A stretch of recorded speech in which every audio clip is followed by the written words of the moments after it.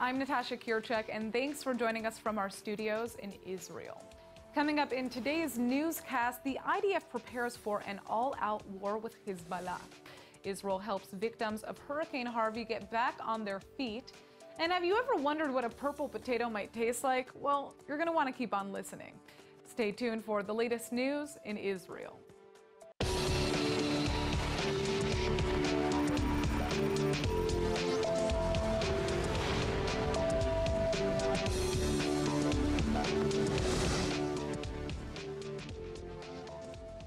Well, things have been getting more and more tense on the border of Israel and Lebanon over the last few months, and now the IDF has just launched a massive military drill to prepare for the next possible war with Hezbollah.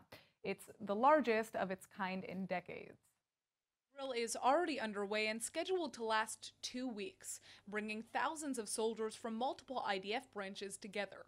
Thousands of reservists were even called in to participate with Air Force, Navy, intelligence, infantry, and cyber units all coming together for the operation. The drill is said to simulate a possible war scenario in which the army would need to evacuate Israeli civilians along the border, an unprecedented undertaking considering nearly 1 million Israelis live in the north right now. Since its last war with Israel over 10 years ago, Hezbollah has been consolidating its army and upgrading its weapons arsenal. Right now, the terror group is believed to hold over 100,000 rockets capable of reaching Israeli soil. And recently, the group has threatened to bring the next war directly to Israel's civilian areas. However, top IDF officials still say that they don't see a war with Hezbollah immediately on the horizon. They've seen the terror group struggling with internal conflicts, an economic crisis, and a leadership vacuum. And last year, a top Hezbollah commander was assassinated in Syria, creating a power shift that continues to derail Hezbollah's ability to organize. On top of rumors of infighting within Hezbollah ranks, their military abilities may be weakened considering many of their troops are spread all over the Middle East in an ongoing war with the Islamic State. But regardless of the terror group's plans, clearly Israel isn't taking any chances. Well, returning to the studio to tell us more about the major military drill in the north is Likud Knesset member and member of the Foreign Affairs Committee, Yoav Kish. Now, thank you so much for joining us. Thank you. So, you know, I think the, the biggest question on our minds, and, and tell us in your honest opinion, is do you see a war in the near future on the border of Israel and Lebanon? I don't think it's in the near future, but uh, once things will settle down in Syria, and I think it's heading towards that, then we're in a different uh, scenario. And what this drill is all about is that Israel understand that the next, uh, the next time that we'll have to face a northern frontier will be totally different from what we had 10 years ago. Now, what are some of those differences going to be?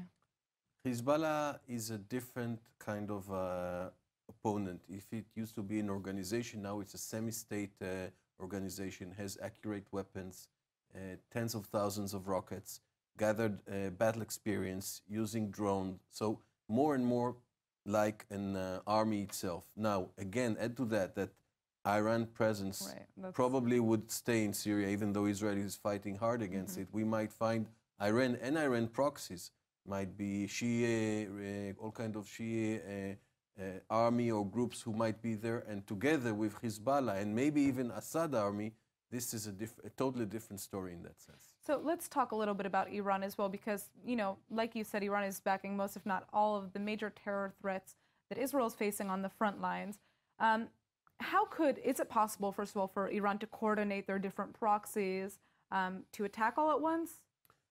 Of course, this is something that we are checking. Uh, you know, the differences in, in, in, these proxies they have in Yemen the, with the Houthis, I don't think this will be relevant, but you have uh, Hamas, you have Hezbollah, uh, you have the Shia militias that might, and, and of course Assad.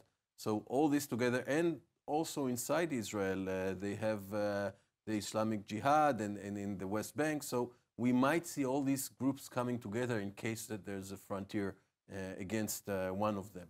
So this is an issue that we true consider. One thing that Iran managed to get by mm -hmm. that mm-hmm. to remove the threat from Iran itself. So uh, it's not like we have a direct border or direct front with Iran, right. but Iran managed to implant all these proxies in mm -hmm. our mm-hmm. borders. Now, I mean, in the case that Hezbollah, for example, were to start a war on the Israeli-Lebanese border, Israel would also be, have to simultaneously, watching what's happening on the border with Gaza. And I mean, is Israel equipped to respond to a scenario in which we're seeing a war happen up on the north and an hour later an attack coming from Gaza? Israel, for many years, the Israeli army is preparing itself for a two frontiers war. So it's not that the Israeli army is built to deal only with Hezbollah or only with Hamas, but right. this scenario of dual frontiers is something that has been in the, uh, uh, let's say, the battle uh, uh plans of the Israeli army. So that's important for everybody to remember that Israel has these things on, on of their mind. Right, and, you know. And we, the army has been prepared for that. It makes, we don't know if it will happen, but there's a very uh, uh, serious scenario that it would, and we should be prepared for that as well. In your mind, what issue uh, and what potential conflict should Israel be the most worried about right now, or should be most focused on? If we're looking at the short term, mm-hmm. the short term is not in the north, is in uh, Gaza, because just after the holidays, we're going to start building the uh, uh, underground barrier against the underground tunnels of the uh, Hamas, and that will be huge effort. And Hamas will, she- will see this effort on the border, and that would be a very sensitive point because uh, he sees the tunnels as a strategic weapon, and the barrier will cut it off. So that will be a very tense moment. These uh, year, a year and a half of building this barrier mm-hmm. is a very sensitive in the short term. In the long term, uh, no doubtly, uh, Iran presence in Syria is a major threat together with Hezbollah. Great. Well, thank you so much for coming thank in, you. Knesset member Yoav Kish. Thank you very much. All right. Well, recently we've seen the Palestinian Authority cracking down on free speech in the West Bank, arresting journalists who voice any dissent against President Mahmoud Abbas's government. Well, now the PA has just made two very controversial arrests, and even the Palestinians are saying the government has gone too far. Isa Amro is probably the last person you'd expect President Abbas would consider an enemy. On the contrary, Amro is one of the highest profile activists promoting the Palestinian cause. He heads an anti Jewish settlement group in Hebron, coordinates protests against the IDF on a regular basis, and frequently appears on international media promoting the Palestinian cause. So, why did Palestinian security forces just lock him up in jail? Well, according to Amro's lawyer, it's because of a Facebook post calling on the long serving PA president to resign. Amro is one of many outraged over the arrest of West Bank journalists, sentiments which just landed him in prison. PA Security also arrested another prominent Palestinian figure, a radio reporter, whom Israel suspects is inciting violence against Jews. The reporter's radio station was raided by the army over the weekend, and after some of his equipment was confiscated, he became enraged that Palestinian police hadn't prevented the raid. He then posted a video to social media and here are the words that put him in the slammer. I call on PA President Mahmoud Abbas and the Prime Minister to submit their resignations and not to remain in their positions. As far as threats go, this one is actually pretty tame, but apparently, even a simple diss is enough to provoke the Palestinian president, who had the man arrested almost immediately. Rights groups all over the world are condemning Abbas's latest arrests, and even the Palestinian citizens themselves are joining the outrage. The world is still feeling shockwaves after North Korea's unprecedented test of a hydrogen bomb just days ago. And now Israel is joining the nations of the world in denouncing North Korea's steps towards nuclear aggression. ILTV's Aaron Porras has more on the story. Now, Aaron, this is obviously a huge development for the world, and how does it affect Israel more specifically? You mean aside from the threat of nuclear war? Yes, aside from that little, yeah. that little Aside bit. from the threat of nuclear war, uh, I think the major issues that we're seeing is that you know Israel has very hostile relations with, with North Korea. Um, and, and, you know, North Korea still doesn't really recognize Israel. Uh, and not to mention the fact that Iran, more importantly, if we're looking in, in the global uh, effects of, of their testing, Iran is looking at North Korea and saying, North Korea is breaking all the rules, why can't we? Right.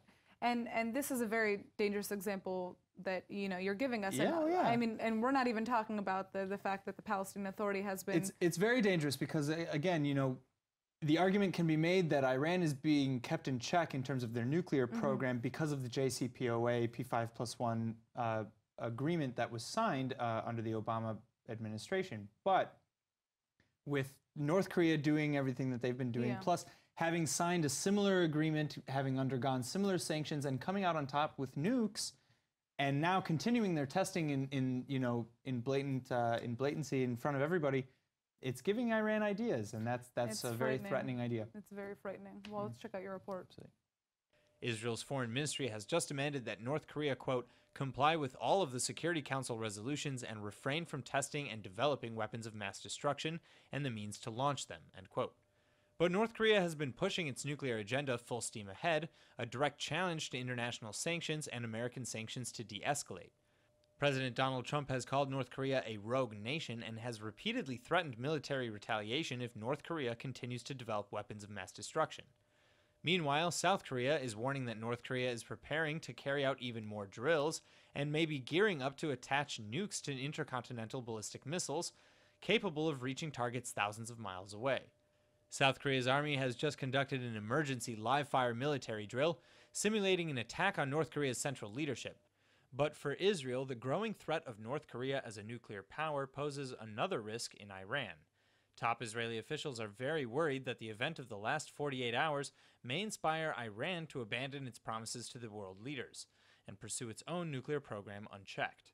By acting in the face of sanctions and developing nuclear weapons, North Korea has just put itself in a much higher negotiation position. This is a dangerous precedent to make at a time when Iran has already threatened to withdraw from the nuclear deal more than once. But millions all over the world are now worrying that fingers may already be on the button. Hurricane Harvey may have finally receded from shorelines last week, but tens of thousands are still trying to piece their lives back together. This was one of the deadliest storms on record. Houston's Jewish neighborhoods were hit especially hard, but now it looks like the Israeli government is about to send a million dollars to help them rebuild their shattered community. Over 60,000 Jewish Americans were living in Houston the day the storm hit, and now nearly three quarters of them have lost their homes or been displaced. Most of the city's synagogues are underwater, and both elderly and Jewish community centers have been decimated, leaving hundreds of Jewish families homeless and with no place to go. Well, now the Israeli government is stepping in, gearing up to send a million dollars in emergency aid to Houston's Jewish community to help rebuild so many broken lives. Diaspora Minister Naftali Bennett is at the helm of finalizing the funds, which will be transferred to the Israeli consulate in Houston and then directly distributed to local Jewish communities. For years, the Jewish community stood by Israel when it needed their help. Now it's our turn to stand by Houston's Jewish community. That's what Bennett said.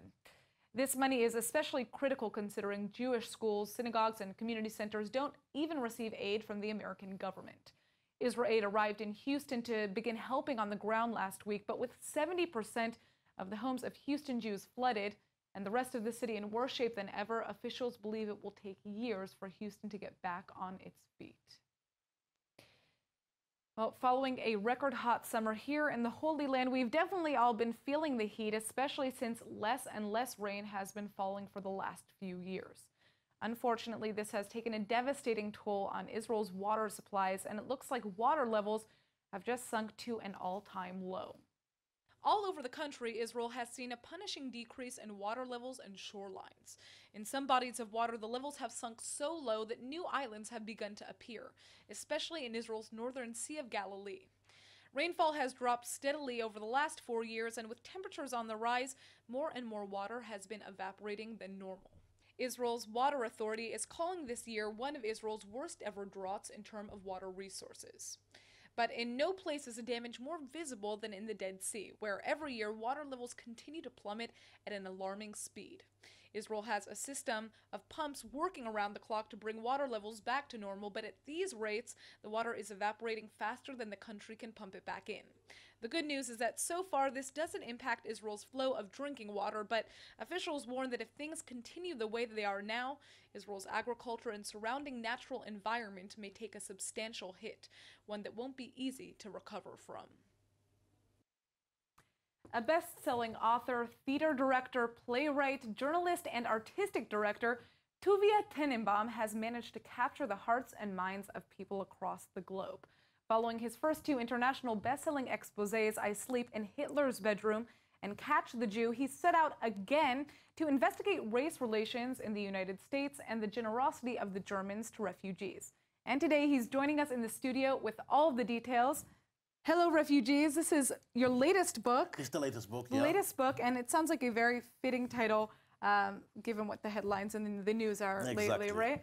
So tell us what this book is about, and then I see you have another book in front of you, so we'll talk about that as well. So first of all, thank you, Natasha, so much for having me.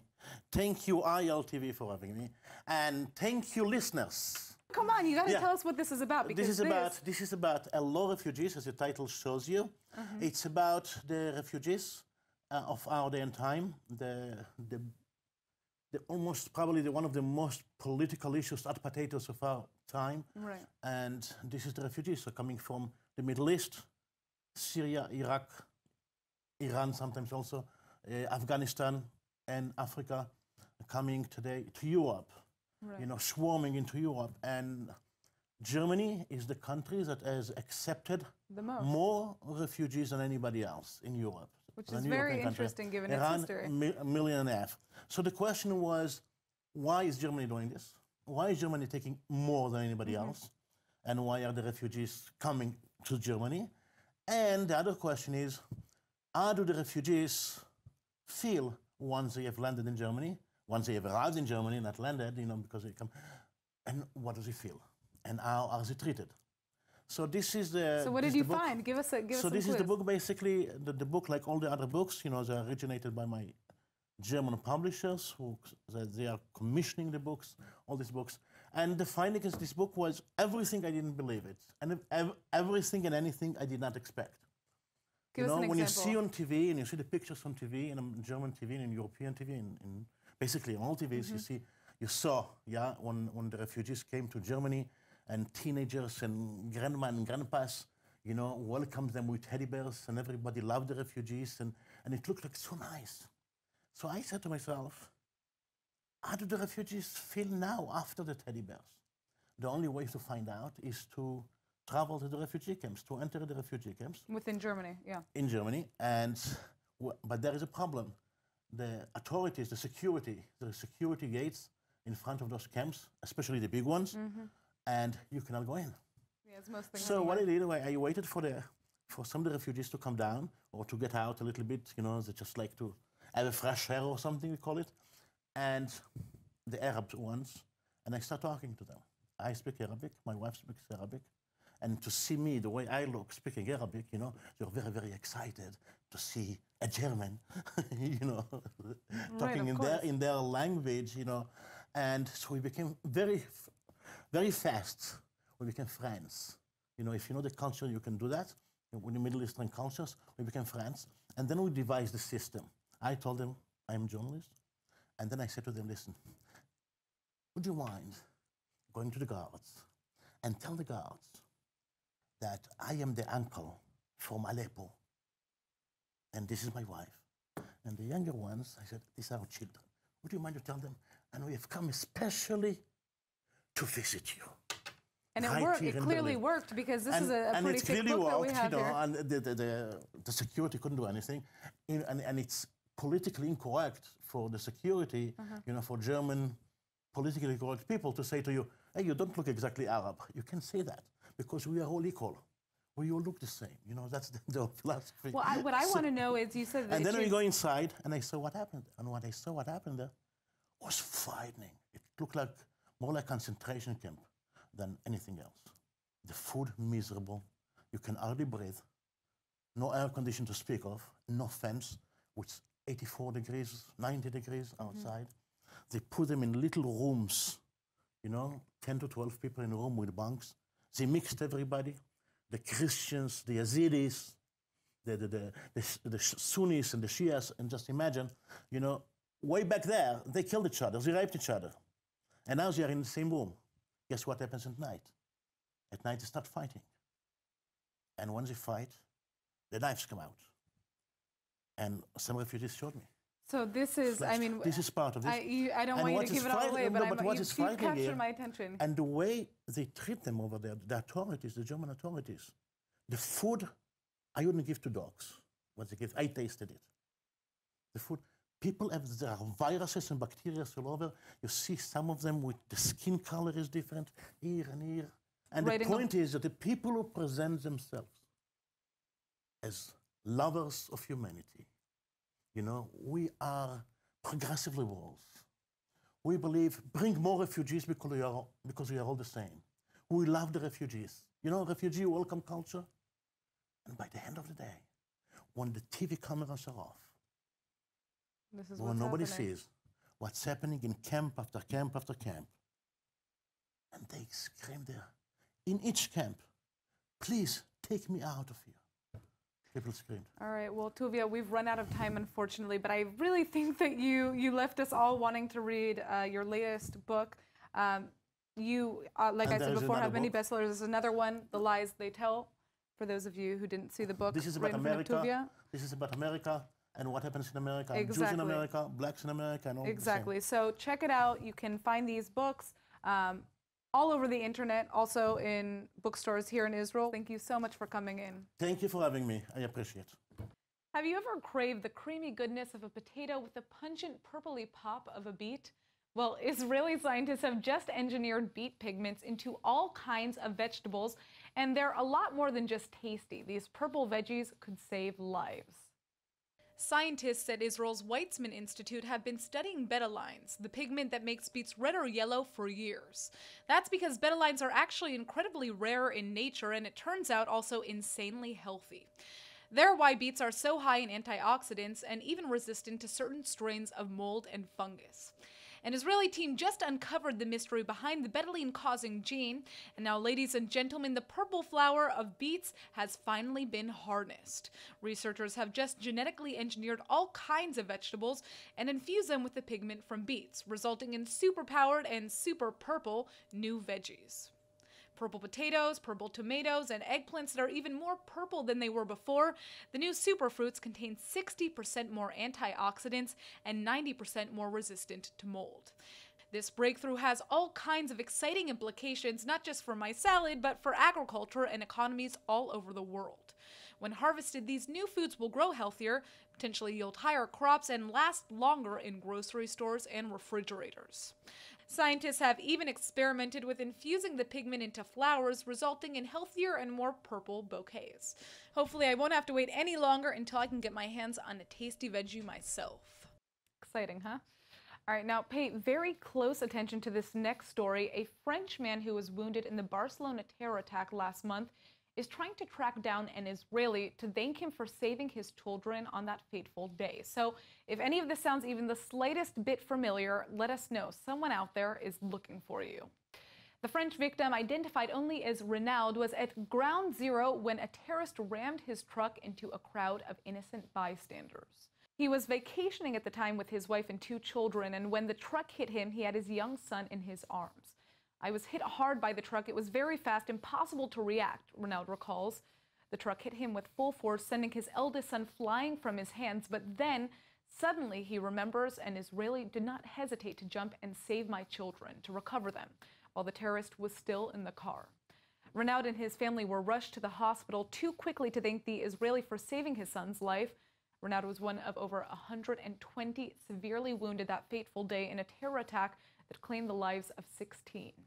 He's currently still in the hospital being treated for multiple painful fractures all over his body, but the only thing on his mind is finding the Israeli savior. So if you're out there, if you're hearing this, or if you know of someone who may have been involved, please get in touch because someone out there wants to thank you.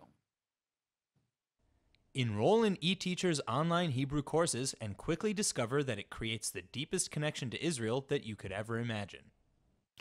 And here comes our Hebrew word of the day. Now, if you heard our story about superpowered potatoes infused with pigments from beets, then you'll know why today's word is sagol, which is how you say purple in Hebrew.